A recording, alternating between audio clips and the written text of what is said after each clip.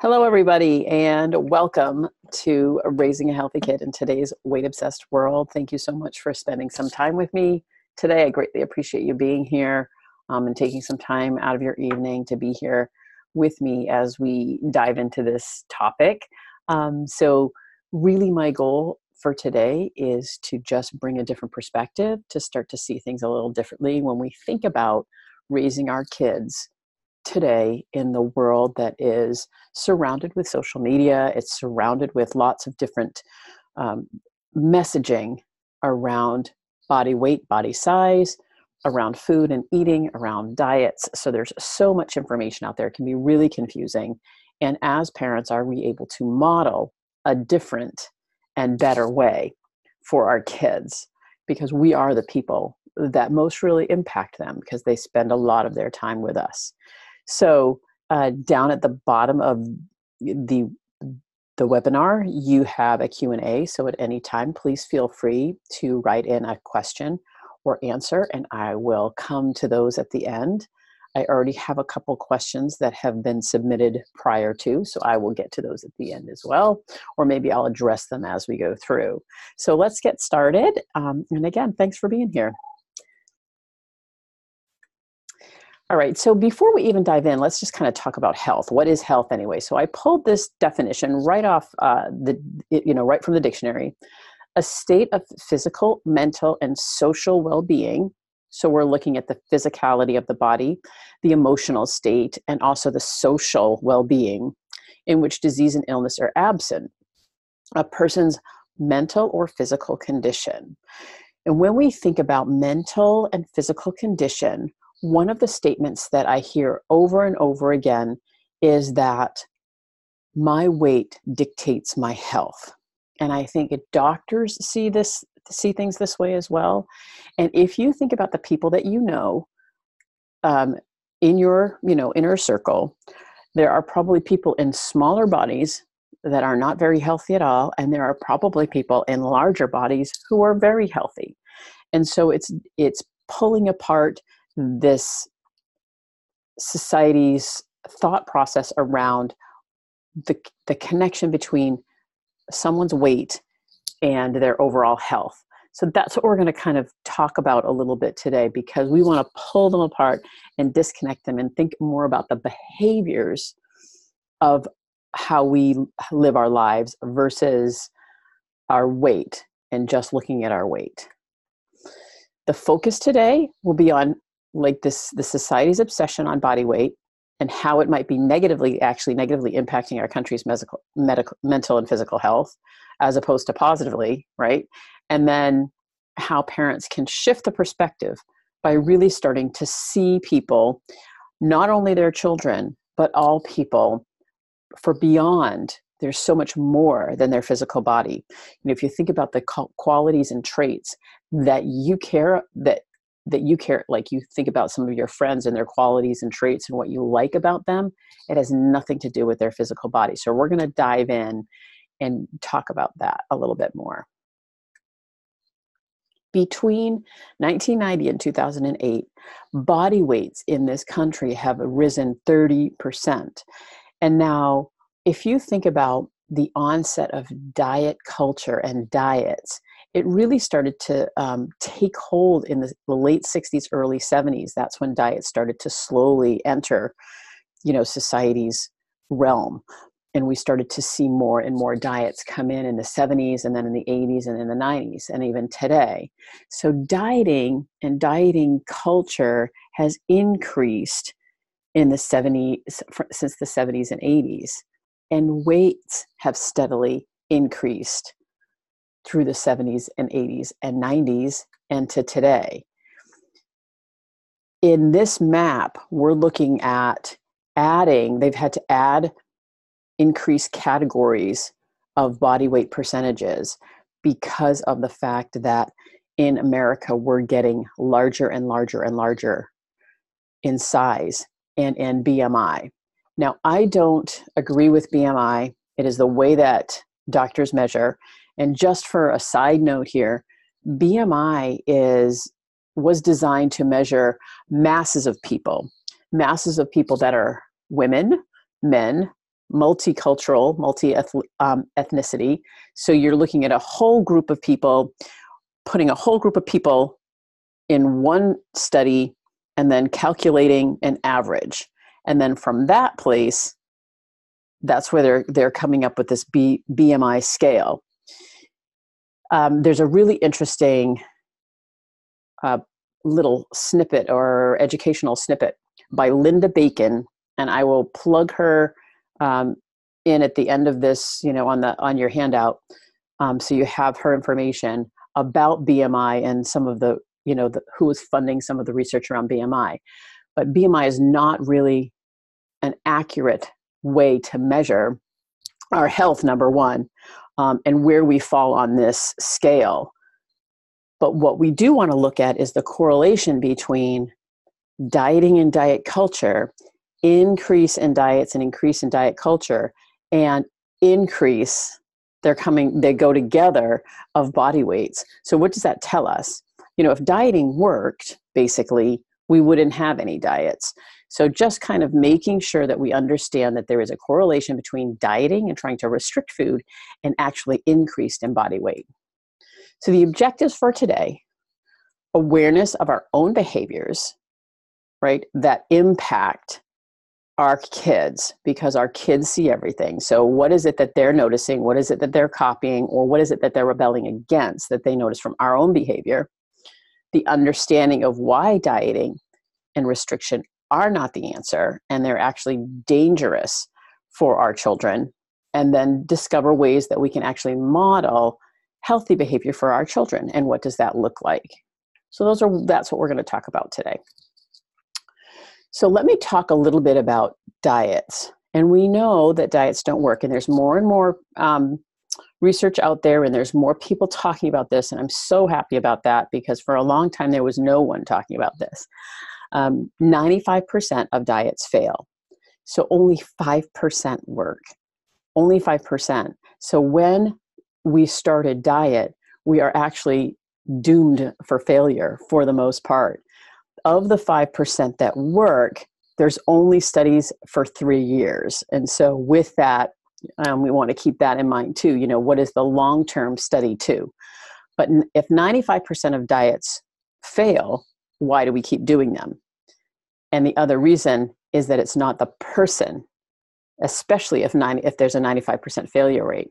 There's much more to it. So I want to talk a little bit about what happens to the body in restriction. Before I do, let me give you an example of what I consider a diet and what that means. And so I know that I'm just a, a small piece. You can't see, um, you just see a little bit of me. But I want you imagine if I hold out my hand, you might be able to see a little bit of this. If I hold out my hand and I put all foods in my hand, every single food that there is, I put it in my hand. And I take out one particular food or a food group in order to lose weight, that is a diet. We're looking at an outcome of weight loss. So if I'm taking out something or I'm shifting my plan, and usually that re- involves removal of something, I'm removing something in order to lose weight, that's a diet. On the other hand, I want to make kind of a caveat to this. If I decide to take out a food group or a particular food due to either spiritual religious reasons or due to the fact that they don't feel good in my body or I'm allergic to them, that becomes a choice. And so we have our own autonomy. I'm choosing to either eat or not eat particular foods. So as opposed to I am removing with an external outcome of weight loss. So that kind of gives you an idea of what I mean by by a diet. When we restrict or when we are on a diet and not giving our body the essential nutrients possibly that it needs and enough calories or enough energy that it needs, enough fuel. I'll use the word energy and fuel um, in conjunction with calories. I kind of stay away from the word calorie and I think about it as energy because that's what it is when we reduce our energy intake, there's a few things that happen that are physiological acc- acclamations of the body. One is that our metabolism slows down. The metabolism slows down enough to meet the energetic needs that are coming in. So what we do when we're on a diet is we decrease our our calorie consumption, our energy intake, And as we decrease our energy in- intake, our metabolism drops down to match it. So that's why weight loss is greater at the beginning of a diet and then slows down to a small, you know, very small incremental changes as the diet goes on. That's because our body is actually acclimating to the amount of energy intake that we're taking in. And thus, when you go off the diet and uh, energy intake increases, the metabolism stays down lower.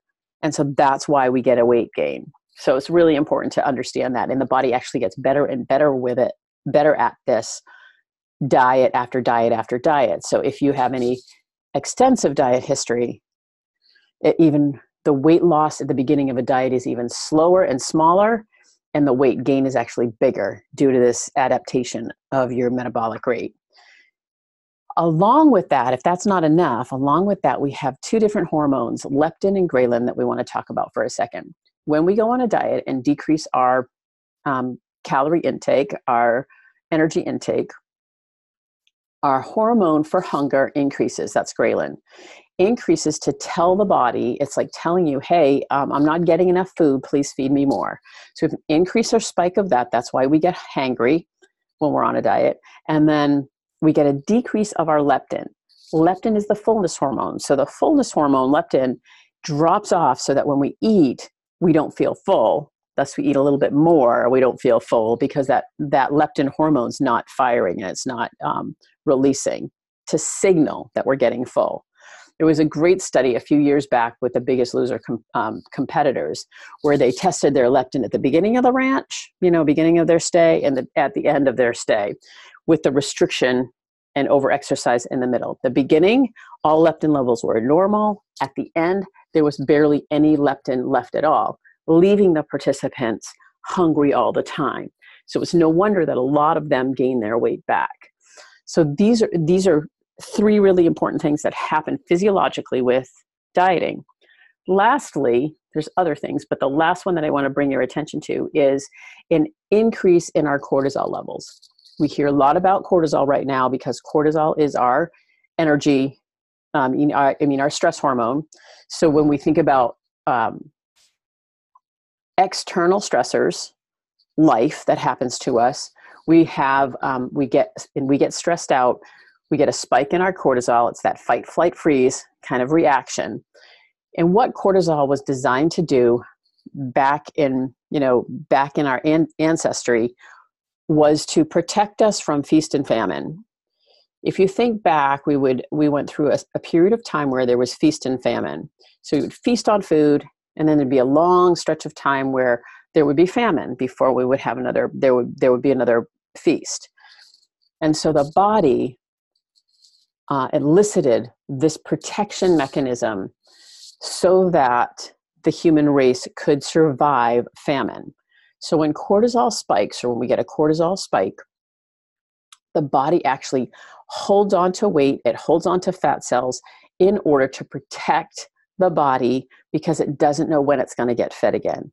So the same thing happens when people go on a diet and they are restricting their calories.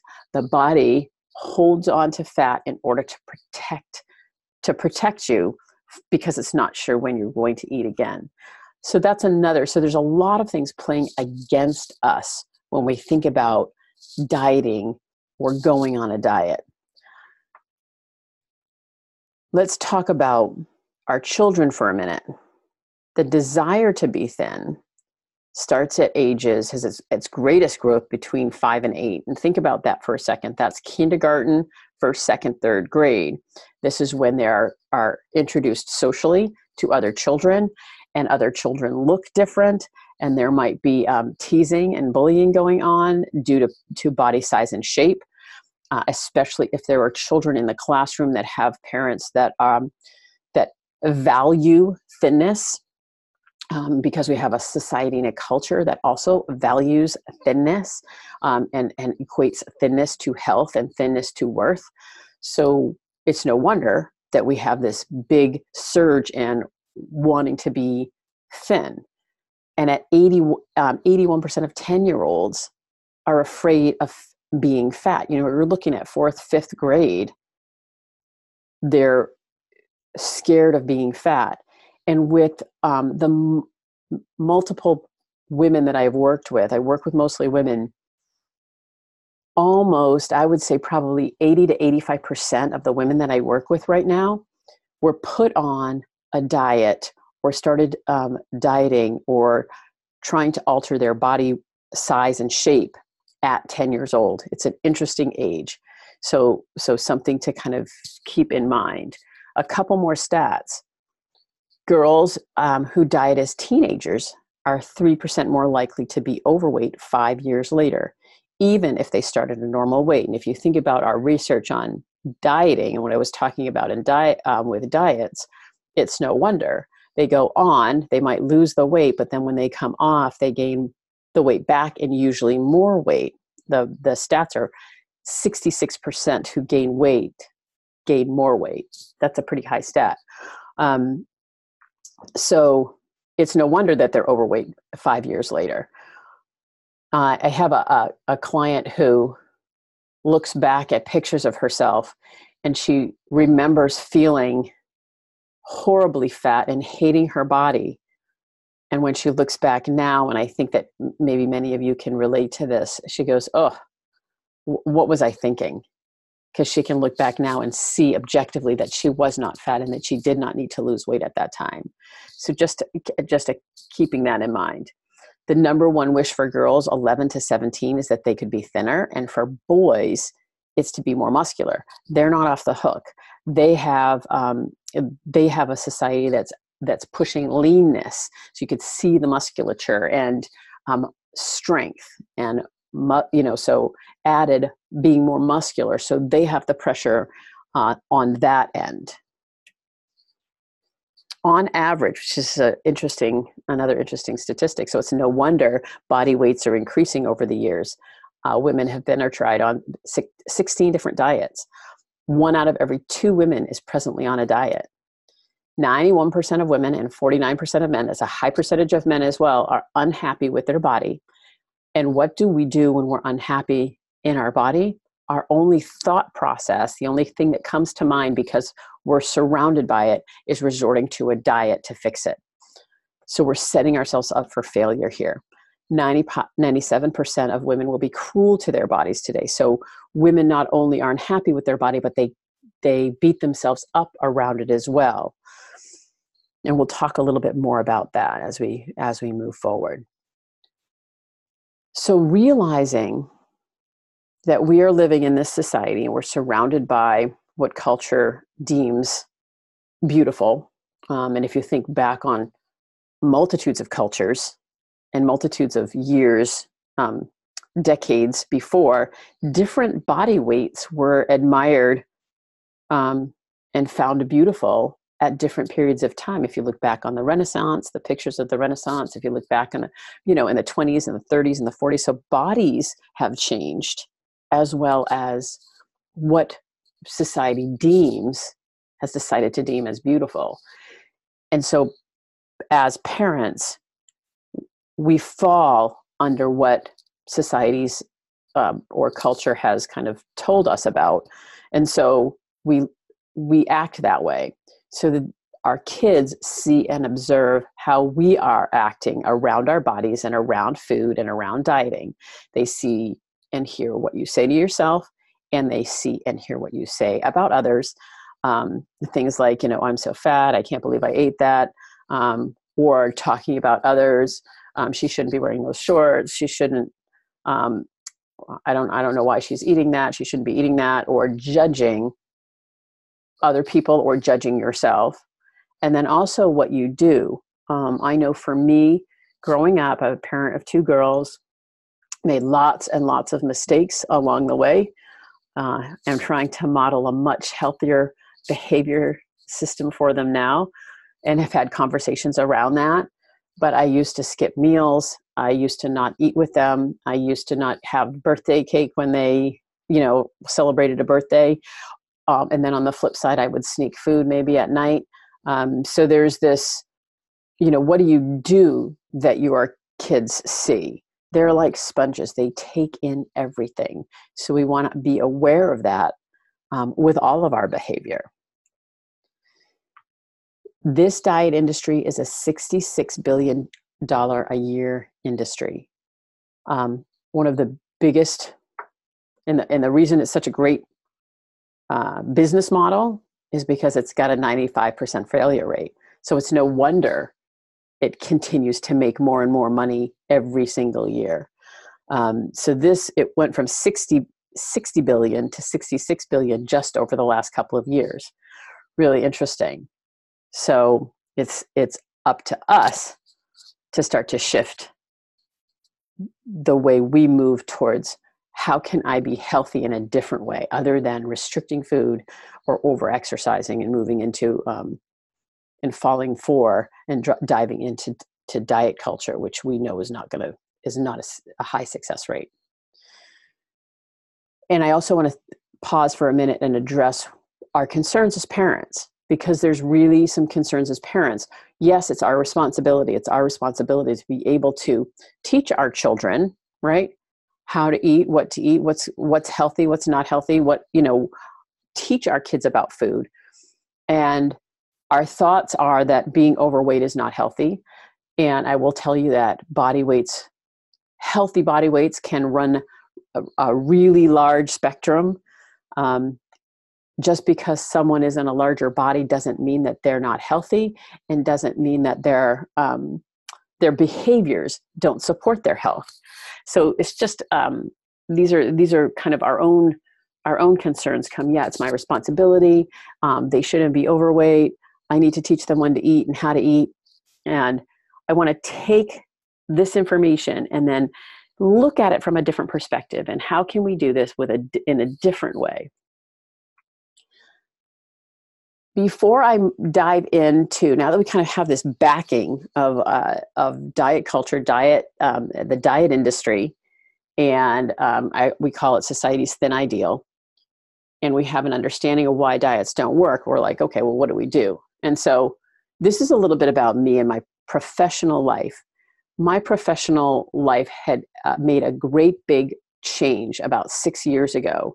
Um, and these are these are the things the the ways that I have shifted my own thinking and shifted the way I look at bodies and I look at exercise and I look at food and eating. And so these are some of my, you know, my resume, my professional resume. I'm a lifestyle strategist. I work a lot with um, taking care of yourself, self care, intuitive eating, uh, some eating disorder. Um, I, I, do have a, my eating disorder specialist. Uh, I call myself a movement and play expert. I spent many years in fitness, uh, and that was destructive to many, many people. And so now it's about movement and play. And then also the way we talk to ourselves um, so I'm a self talk, a certified self talk trainer, and a body image coach. So this is my professional side. But my personal side, like really who I am, is why this whole topic is so, I'm so passionate about it and how um, my mission is to change the way people think about bodies and body size and about food and about eating and about exercise and about self care um, and about self talk. It's, it's,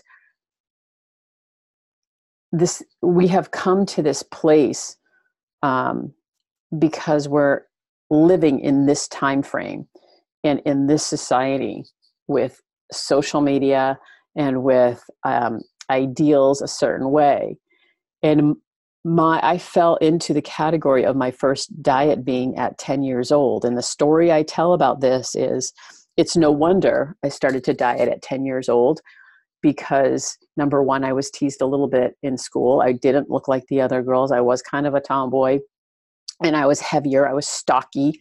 Um, and so I was teased and I had a, they, you know, the boys had a little nickname for me and the, you know, my brother's friends. And at that same time frame, my mom took me to the doctor. Was heading into junior high. So um, I had already started looking at what I was eating and started not eating as much um, trying to shrink my body, trying to be somebody different. And the doctor told my mom that, uh, you know, you better watch what she eats because she's on the top of the scale.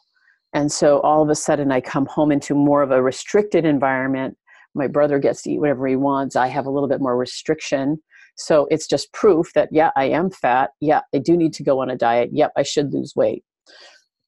And so, because of kind of the circumstances, of my upbringing, both in the in the home, I'll talk a little bit about that later, um, but also in the school, I ended up um, after my first diet dieting again and landing in the hospital with anorexia nervosa, fighting three years with that disease um, in the 70s when really no one knew what anorexia nervosa was. So my seventh to 10th grade I have very little recollection because I was fighting, um, fighting myself and not eating. Um, and like I said, really struggling. When I came out of that though, between then, I went into fitness to, to maintain my weight, to make sure that I could remain um, thinking that that was a way, if I'm at least exercising, then I'll, um, I can control my weight. My the, the next 30 years i went into fitness and that was basically fed my disorder. So i had um, exercise bulimia which led to some binge eating until and this is the breaking point until about six years ago when i was actually lying in a hospital bed i had a bad knee ready to get my leg broken so that they could straighten out my leg because my knee was so bad so that I could continue to pound on it, so that I could continue to run, so that I could continue to teach um, group exercise in order to keep my weight down. And when the doctor came in and said, you know, I just want to tell you that if we get in there and the knee's too bad, you know, we're not going to be able to do anything. Um, we're just going to be able to clean it up and, you know, we'll have to try something different. Uh, I knew, I turned to my husband at the time and I said, I knew they're, they're not going to be able to do it. I was angry, I was scared, um, I was frustrated, and I was sad. And when I went home, because I couldn't do it, I had to, it, it was kind of this space of what am I doing? Number one, why am I doing this? How long do I want to continue to do this? And I just realized I was tired. So I started to do a lot of self discovery and this is where i pulled out of it and, and dove into the research and dove into learning more about how did i get into this place? How have i spent my whole life 40 years searching for the quick fix or trying to be a body that my body just a body size that my body just didn't want to be?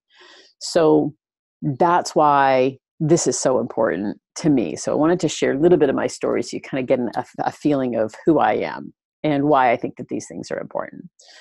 So children who grow up in an environment where one or both parents value or embrace these things right? So dieting so if parents are embracing diets or dieting or on diets um, and restriction they classify foods that's not a that's a bad food this is a good food because that equates to with a child good food i'm good bad food i'm bad. So that's just something to a side note. Um, who embrace weight loss and being thin. So if they idealize smaller bodies and being thin, usually what happens to children who grow up in that those environments, they take two different pathways. Not all, but these are the two most prominent pathways that are taken. The first one is the chronic dieter. Chronic dieter is the up and down, the yo-yoer. So they um, are always on a diet or they're off a diet. They're always trying to change their body their metabolic system is pretty messed up and their leptin and ghrelin um, delivery systems aren't working properly either. So that's why they're always going up and down, up and down, up and down. Um, and then there's also we call the chronic rebel- rebeller. If kids are told you can't eat this, you can't eat that, don't you know? There's this inner autonomy that children just have. I mean, we all have it, don't tell me what to do. You know i mean i have it now today if somebody says you know don't you can't do that or don't do that you know i'm going to try to say well you can't tell me what i can and can't do right? So there's that little inner rebellion person. And kids will do the same thing. I think about you know if a if a 16 year old um, girl comes home with a boyfriend and introduces him, him to the parents and when he leaves the parents say don't you ever see him again that's a, a 16 year old if they're in this rebeller kind of phase they're going to do whatever they can to see him because they were told not to even if they didn't like him all that much. So there's this don't tell me what to do um, when it comes to the chronic rebeller around food they'll sneak food because if foods are told you can't eat that they'll sneak food um, and just trying to own their their personal autonomy don't tell me what to do and i think about a, a little a little kid or a teenager putting their hands on their hips and saying no i'm going to do it my way. So these are the two pathways that we take. And it's interesting because if you think about babies uh, the disconnection with food starts so early. So i want to share a little bit about if we've got these two pathways due to dieting where did it come from? Because if we can catch it in the beginning then we are so much further ahead. And so the disconnection starts really really early. If you think about children um, toddlers who are hungry if they ask for something to eat at 5 p.m and dinner's at 6 you know parents are usually no we don't want you to ruin your dinner. Um, and that becomes a child's that that's the start of a disconnection of their true hunger. They're feeling true hunger but then they're told they're not they can't satisfy that hunger. They sit down to eat a meal. They eat what they want. They're full but there's still food on their plate and parent uh, parents will say finish your plate. So there's a di- disconnection from their own internal guidance system of fullness too. So it becomes we become disassociated with our own true hunger and our own true fullness. The other side to that is that food is used very often as punishment or reward um, a child falls off a, a bike and is crying um, a, uh, the parent gives them a cookie to calm them down. Um, if a, a, child is in the grocery store and um, throwing a little fit, a parent will put you know little i think about the cheerios that they put on their on their tray to quiet them down or to keep them occupied and so these are this is actually disconnection to actual physical hunger um, and fullness. It's it's used as comfort used as reward. Um, get good grades on a test. You can um, we'll take you out to dinner or we'll go get ice cream um, or punishment. No you have to finish your dinner before you can have dessert. So we're completely disconnected with our own internal guidance system. And that's where we can actually start to shift the conversation and start to get more connected with our kids and our children's own inner um, inner hunger signals and our own uh, inner hunger signals as well as our, our own fullness signals. So what do we do? I'm going to go through a, a series of different things that we can do here. First, you can learn to trust your and your children's inner food compass. What does hunger feel like? What does fullness feel like? What does what does satisfaction feel like for me versus you? Um, in intuitive eating, they use a continuum: one being really, really hungry, and ten being really, really full. I mean, for many people, we know real hunger and we know real fullness, but we have a hard time with the nuances in between ideally we want to eat eat around a three and to stop eating around a seven or eight um, but it's it's testing and, and starting to listen to our bodies more to understand your um, your hunger and your fullness a question that came in earlier was you know my three year old right at bedtime comes and says he's hungry and i'm not sure if he's hungry if he's actually hungry or if he's just asking for food to avoid going to bed. And I said, it's a great question, right? And that can be a little bit tricky. But are you able to ask the three year old, what does hunger feel like? How do you know you're hungry? How does it feel to be hungry? Because that's a really good question. It's a great question for all of our kids. So trusting your own and your child's inner compass. And then encouraging yourself and your kids um, to tune into what their bodies need, both physical hunger and fullness, and then also emotional. Um, if a, if a child is sad, or if a child is lonely, or bored, um, or disappointed, or frustrated, or angry, a lot of those emotions are hard to feel. And so, food comforts and calms, especially if there's been a train of that going on. If there's sadness, and um, as a little kid, and they're given you know food to satisfy or to quiet or to, to feel more comfortable they will continue that pa- pattern. So it's getting in touch with emotions and if they're turning to food for an emotion instead of okay well what how can we deal with the emotion? You know with sadness can we cry? With boredom can we find something to do that's that's more fun? So it's taking the emotion and filling the actual need versus filling the need with food serve a variety of foods um, giving choices if a child eats one vegetable yay a child eats one vegetable as opposed to I can't get them to eat anymore. Um, it's a it's a celebration of what they will eat. We want them to eat food. We can give them the foods that they like and they'll enjoy, um, and they're more apt to not be foraging or utilizing um, food as as a reward or punishment later on in life. So it's serving a variety so that they get a variety of foods um, to offer some independence of choice for yourself. So if you can try new foods, um, and uh, and saying that this is a new food, I've never tried this before. Let's try it together. That becomes a shared experience. Um, Jerry Seinfeld's wife wrote a great recipe book with utilizing uh, fruits and vegetables in lots of different lots of different forms. So there's are there's some ways that we can get children to get some more nutrients if we're creative. So that can be a, um, something to to think about as well. Modeling self compassion and self kindness towards yourself. So thinking about how do you talk to yourself? How do you um, move through your day? Um, do you say out loud if you drop something? I'm so stupid or I'm so clumsy versus, oh, I dropped something, you know, um, that's okay. I must be anxious or whatever it is, but it's a more self compassionate, self kindness towards self versus a beating up of self. Really important to model this because children don't hear these this kind of language. I'm doing the best I can. Um, I'm very I'm I have strong legs. Uh, I those kind of those kind of thoughts. Um, I'm a good person. I'm a caring person. I'm a loving person. I'm a good friend.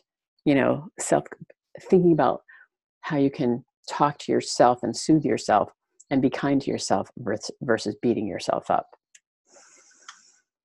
Um, okay, let's talk a little bit about how you talk to yourself or act when you are with family or friends because sometimes different people come out um, when you're with other people.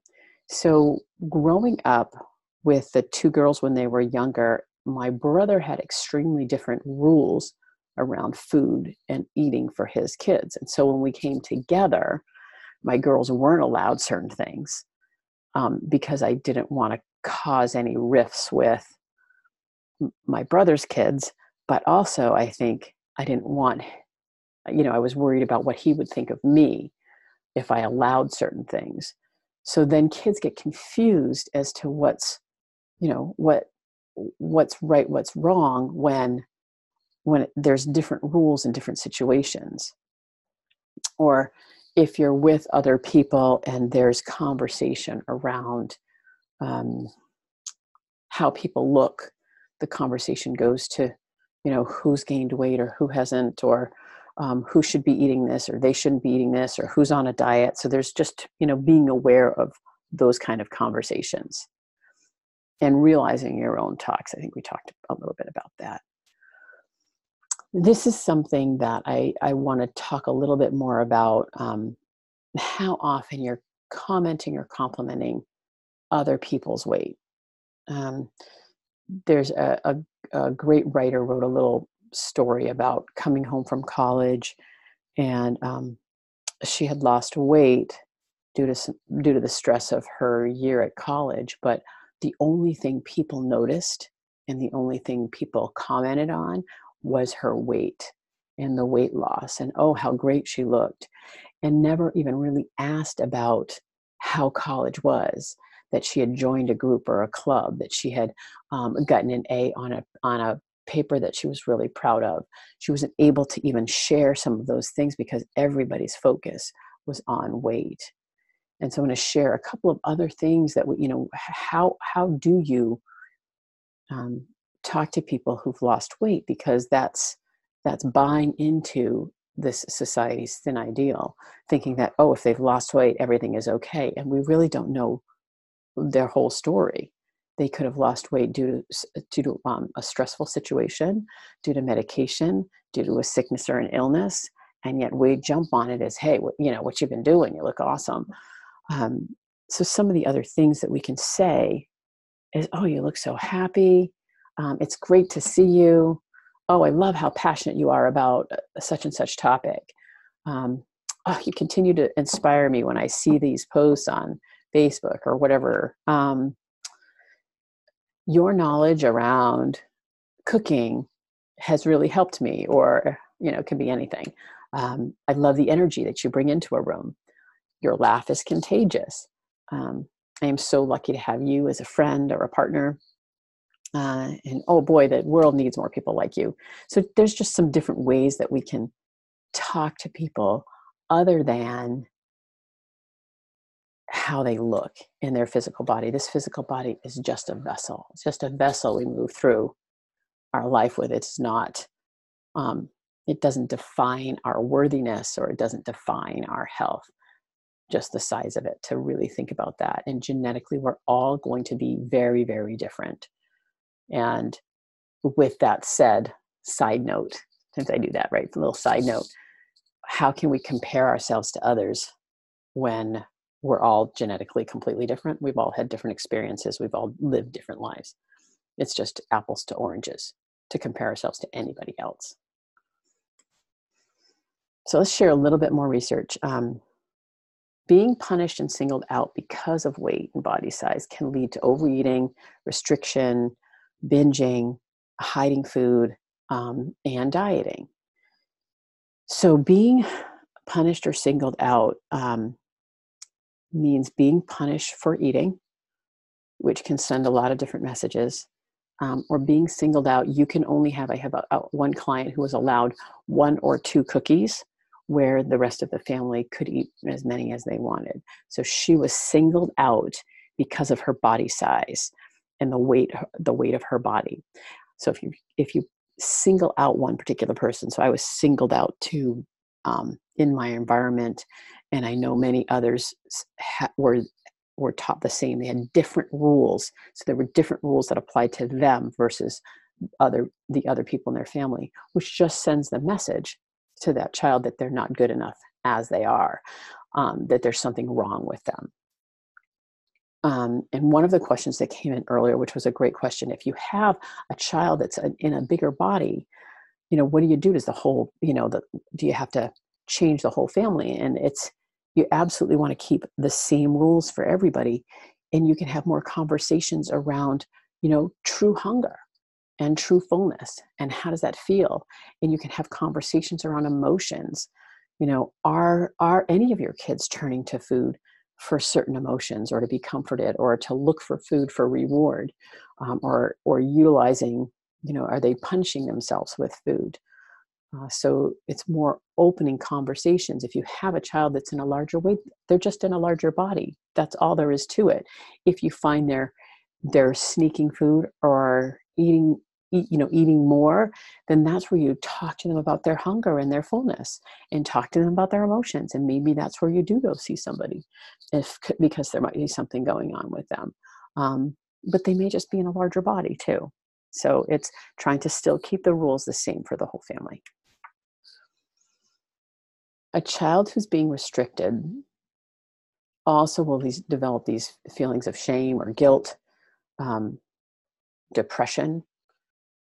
They'll feel deprived, um, which can kind of turn into resentment and anger, um, full on isolation, and shame pulls pulls kids into that more depressed state because they're not because of the size of their body they're being told that they're not good enough as they are and i think that's the real key here to, to remember. So as we go on, there's a few, let me just kind of wrap up here with these, these five key tips to take home with you. And the biggest tip of all, lead by example, be a role model. model yourself healthy, non judgmental, curious behavior around food. Try new foods. Um, how, like, um, be curious about how your family responds to different foods. How do you how do you move through the world with your body? So, with that said, what's your own relationship? What's your own relationship with your body? And um, because the biggest thing we can do as parents is make peace ourselves with food and eating and weight. If you're always trying to change your weight, you're sending a signal to your kids that you're not that it's it's uh, improper to live in the body that you have and you're not worth it and so really thinking about what is your own relationship and if you can start to make peace with your own relationship with food and eating and body that's going to filter down if we're going to shut out and change the conversation from the outside world and start to bring it in to our own relationship with ourselves. Promoting self acceptance and body acceptance. So, really thinking about how, you know, this is kind of keying into your own biases. What, how do you respond to someone in a larger body? Or how do you respond to someone in a smaller body?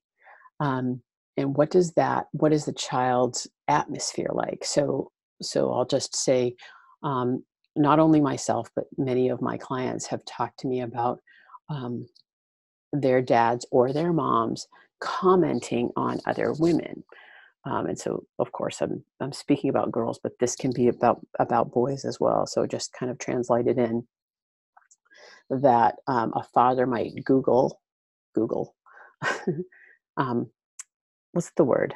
Like um i guess it is googling like looking at you know if a, a woman walks by and they and they their head turns and watches um, or they comment boy she's got great legs or what a um, beautiful figure she has um, things like that that are comment, commenting on the shape of the body. As a child we take it like that's what the ideal is and in order to get love from dad i should look like that. I don't know if that makes sense but um, that's the way i kind of felt with uh, my my dad as far as him looking at women in a different way and i was more of a tomboy and stocky so i was never measuring up i was trying to figure out how to look a certain way because of that so thinking about those things and then the other thing, this is checking in with our own biases, right? Um, do you attach labels to people who are in bigger bodies? You know, there's there's labels that get attached to someone who's in a larger body. They must be lazy. They must have no willpower. Um, they must they don't have any control. Um, they must eat just junk all day, and that's far the farthest thing from the truth, right? So this promoting self-acceptance and body acceptance is is really checking in with our own biases and saying, you know what, everybody's different and accepting everybody for who they are versus what they look like. Um, we can choose to appreciate people even if we don't necessarily agree with other parts of their personality we can accept them as who they are as opposed to um, judging criticizing um, and and blaming or shaming others because it just it just really impacts us uh, develop a supportive language around food eating weight and body so you can navigate conversations with each other um, if you go to shapingperspectives.com um, and go over to our blogs, I have a, a great blog that will support this. Um, the mother and daughter um, body and body relationship. So, so check that out. Um, intuitive eating has a has a chapter on developing um, intuitive eating for children and supportive language around that. Um, and Ellyn Satter has some information around eating and food and kids. So, developing a supportive language so that you open up conversations around this. ask your kids, what does it feel like to be hungry? Ask your kids um, if they're sad or how they feel, or does that feel good or does that feel bad? So thinking about how you can start start the conversation. And then lastly, love them no matter what, no matter what size body they're in, um, no matter what choices they may make. You know, those are if we can love them no matter what, it becomes then there's that there's the space of unconditional love, right? And then it doesn't matter what size body they're in. They know that that you love them, no matter what. Um, so um, open up for a few more questions. If people have questions, remember you can just pop in below and you can um, put in uh, in the q&a you can write one right in there so um, feel free to do that and lastly you know thinking about just breaking this cycle for a lot of us our parents dieted their parents dieted or their parents idealized um, dieting or the thin ideal um, or being in a smaller body. So if you are interested in having a conversation around this um, feel free to email me at annie at shapingperspectives.com um, and we can we can set up a free conversation and talk a little bit more about this and let's break the cycle. So thank you very much for watching i am going to stop the share now and come back um, i greatly appreciate you all being here if you have questions please drop them in um, and then we will finish up So, a question coming in about um, if you think uh, your child might have an eating disorder, that that's where you, you know, I I um, I get I get a little. I'm so grateful for my mom for noticing something was going on with me, and then making an effort to find out what she could do about it. There's lots of support groups out there to help. Um, so I would reach out to a professional eating disorder professional to find out what's going on for a consult and see what's happening because that's not something you want to take lightly. So, great question. Thank you for asking that. Okay, no, no, okay. All right, very good. Um, thank you all for being here. I greatly appreciate it. Uh, if you have any questions or other comments that you want to reach out to me, please feel free to do that. Annie at shapingperspectives.com. Thanks again for taking the time today.